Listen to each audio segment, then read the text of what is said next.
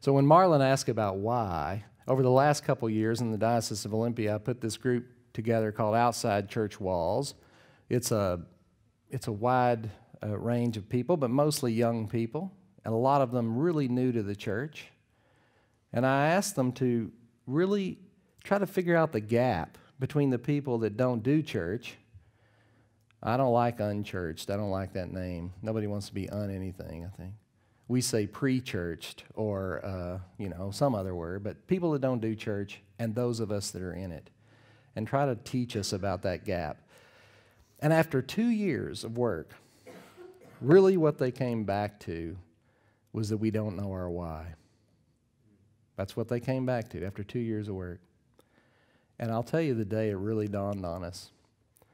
We invited an atheist to come and talk to us and to reflect back to us what he saw in the Christian world. And he was a very brave man to come and sit with us. And after it was all over, I said, You know, you've been very gracious and you've been courageous to come here, but I think you're holding back. So I'm going to ask you come up with like a bumper sticker for what you would tell us. And he thought about it a minute and he said, Okay, your elevator speech sucks. Your elevator speech sucks. And then we had a great conversation. And when he left, those of us at the table tried to come up with our elevator speech the why. And it wasn't easy to do.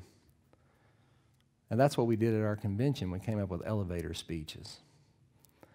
And our youth, they really loved this. They got on it. So they rode the elevator. So at convention, you would get on, and a youth person would be there, and they'd give you their elevator speech and ask you for yours.